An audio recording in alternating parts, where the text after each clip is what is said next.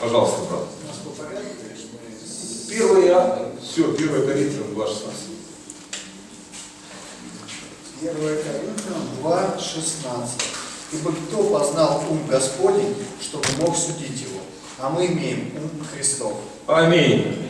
Аминь, друзья. Следующее давайте. Хорошо, пока он смотрит. Итак, друзья, мы должны запомнить, сегодня эта тема, да, проповеди. А, Мы имеем, скажи, я имею ум Христов. Нам так трудно с нашим плотским умом понять, что этот ум Христов уже во мне есть. Реальный. Он самая большая реальность. Это самое могущественное то, что есть в тебе. Как только ты родился от Духа, а Бог есть Дух, ты родился от Бога, значит ты родился от Духа. И ты есть Дух, скажи, я есть Дух. Аминь. Но Дух живет в совершенно другом мире. В духовной реальности. Нам надо привыкать к духовной реальности. Нам надо осознать, что самое могущественное, твердое, железобетонное, хотите, как хотите, назовите. Реальность – это именно духовная реальность, не физическая. Это шахта. Я уже много раз приводил пример. Этого дома не было тысячу лет назад. Его не будет через тысячу лет назад. Это все пшик. В глазах Бога тысячи лет как один день. Это просто раз на секунду показался, как в фильме быстром такой, прокрутка, понимаете? И нет этого дома. А нам кажется, если вот здесь вот, вот здесь я потопать могу, то вот это реальность. Нет, нет, это совсем временно. Но Слово Бога, духовная реальность – это самая могущественная реальность. Нам надо привыкнуть всем своим существом к духовной реальности. Нам надо стремиться перейти в духовную реальность, жить духовной реальностью, осознавать, что все самое лучшее в духовной реальности. Ты же хочешь себе лучше? Значит, тебе надо нырять в духовную реальность, привыкнуть жить духовной реальностью, всячески отвергать. Мы не ходим больше в видении. Мы ходим, то есть живем только верой в Слово Божье. И это самое лучшее. Надо к этому привыкнуть. И мы имеем ум Христов. Аминь. Следующее. Следующее место Писания это Римлянам 6.6. Ты не говори, следующее место Писания, экономи время. И даже Рим, вот Римлянам 6.6 и перевод. Зная то, что ветхий наш человек распят с ним, чтобы упразднено было тело греховное, дабы нам не быть уже рабами греху. Итак, тот человек, который родился во мне, то есть тот дух, который родился, когда мама с папой меня родили, он рожден по плоти. Рожденный от плоти есть плоть, рожденный от духа есть дух. Этот дух не мертвый был, он живой в твоем теле. Из него все равно энергия жизни идет в твое тело. Так же? Он мертв был для Бога, потому что он умер во время греха. И он стал сыном дьявола. Но он жив для дьявола, он жив был для оккультных всех вещей. Аминь. Чем занимаются все колдуны, экстрасенсы и прочее, прочее. Кстати, я вот только что посмотрел в интернете, просто случайно увидел, минутка была, посмотрел. а, Человек и закон программа, да, рассказывает а, о битве экстрасенсов. Вот об этой передаче, раскрученной настолько у нас в стране, да, астропрогноз, все же любят гороскопами заниматься, очень многие христиане даже, на всякий случай цыганки дадут руку погадать. Вот. И э, я, конечно, удивляюсь. Ну вот так. Да, вот вчера смотрю, одна сестра, служитель, серьезный служитель.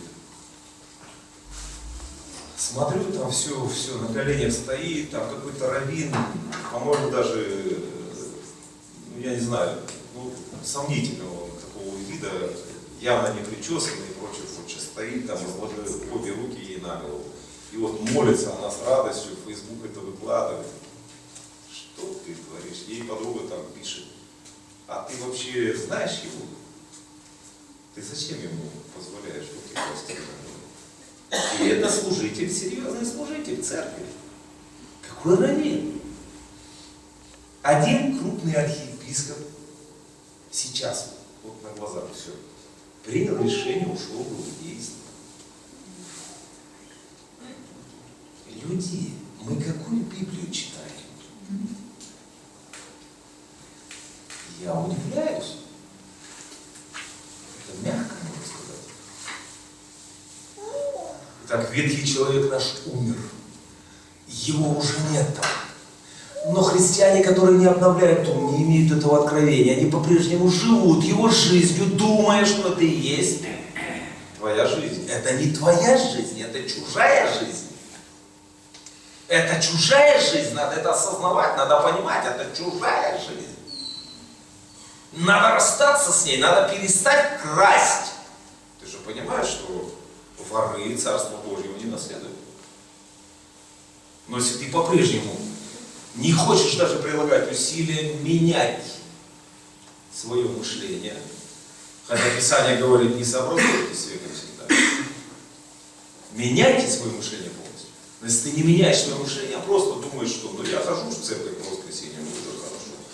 А что вы еще ко мне привязываетесь? Забудьте про все остальное.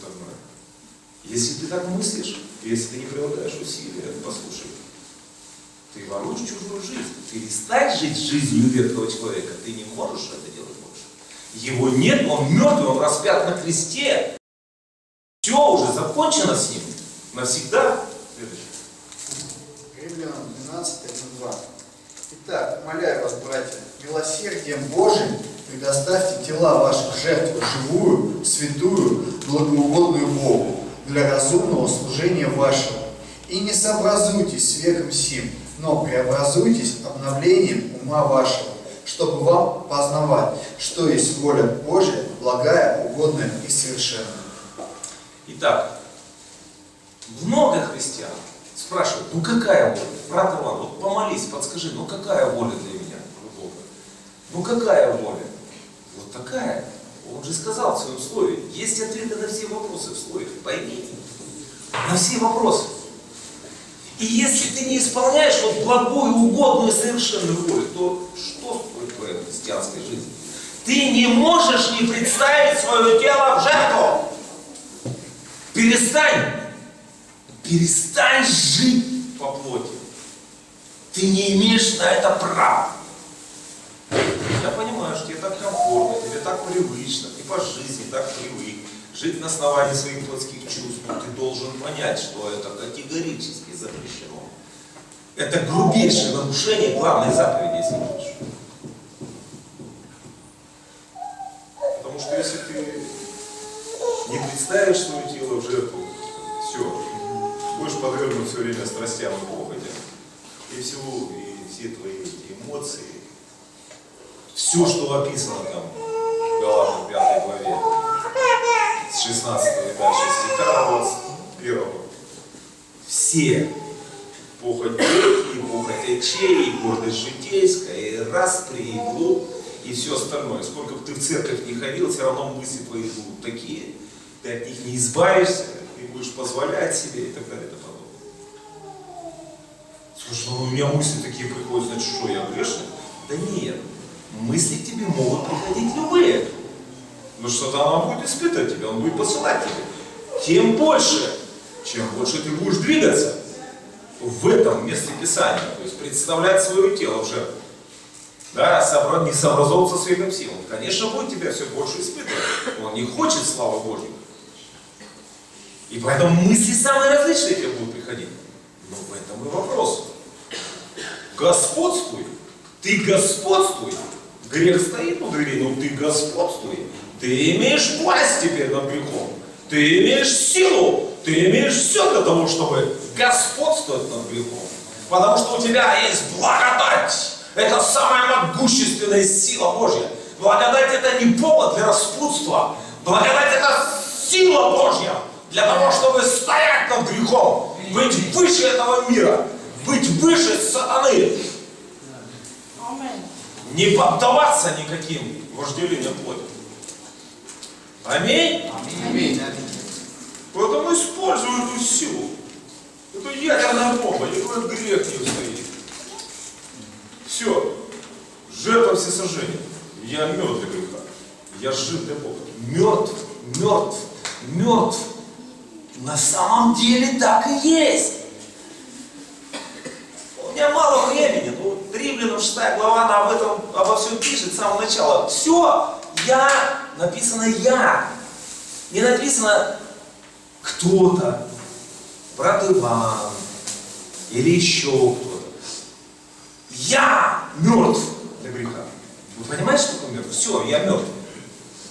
Ну я же грешу. Нет! Ты не грешишь! Ты не грешишь, пойми это. Как я не грешу? Все же написано, много совершает. Совершает грех, живущий в плоти моей. А я дух, я совершенный, я сын Божий, я рожден от Бога, я не грешу. Все, я не делаю греха. Я не могу грешить, во мне нет желания грешить. И вот теперь вопрос. Ты позволишь, твоя личность, твоя душа, кому позволит господствовать над тобой? Плоти или духу? Какой выбор ты сделаешь? Какой выбор? У тебя нет права позволять плоти господствовать над тобой. Потому что написано Римлянам 8, 6. Потому что помышления плотские суть смерть. Смерть. Смерть. Ты же не желаешь себе смерти. Ну что, я сразу умру? Нет, сразу ты не умрешь. Да и вообще вопрос ведь не в теле твоем. Вопрос только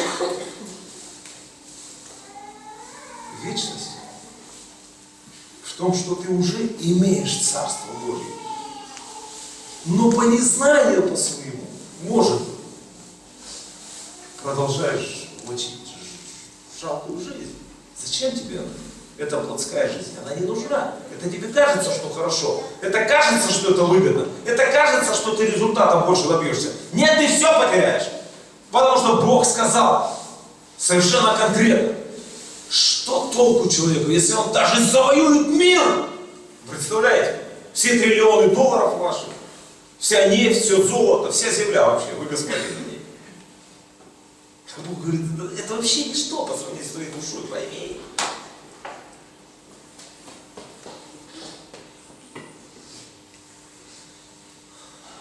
И так мы должны представить тела свою жизнь.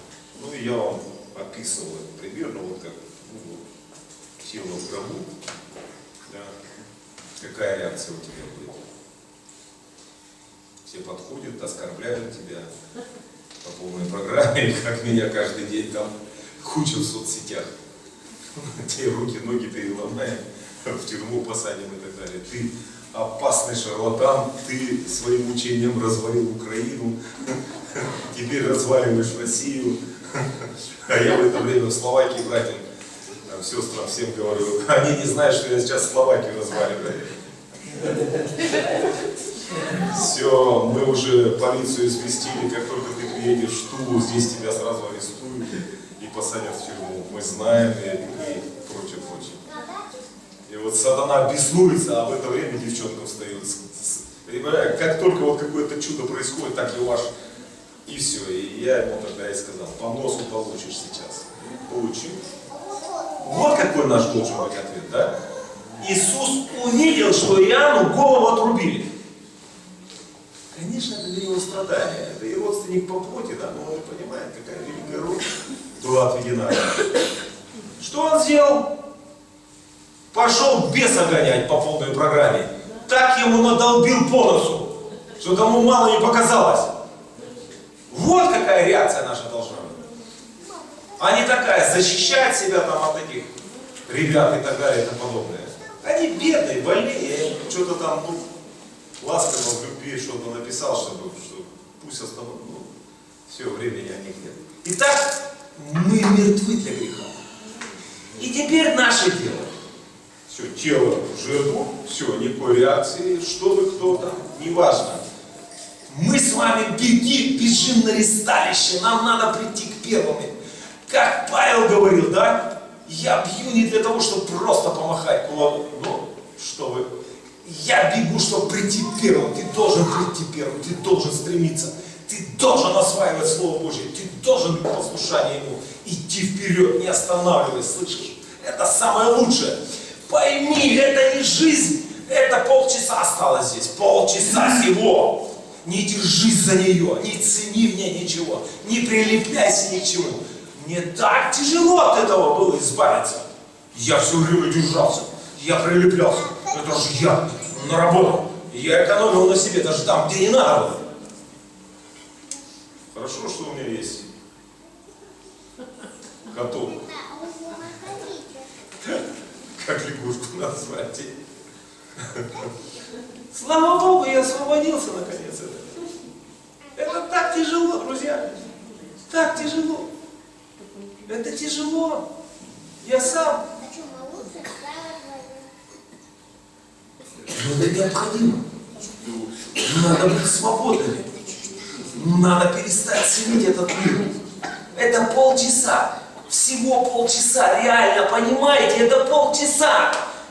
Через два миллиона лет мы с вами будем сидеть вместе с Господом, наслаждаться Христом и будем вспоминать, почему мы тратили время на что попало в этой жизни. Цеплялись, стремились к чему-то, не к тому, о чем Бог мечтает. Это ненормальная жизнь, это и не христианская жизнь, это так, подделка суррогата.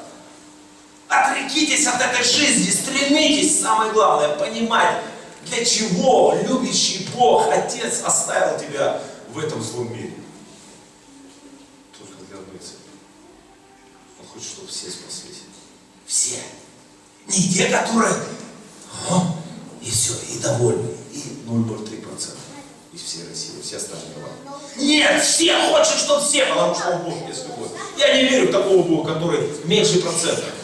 Понимаете?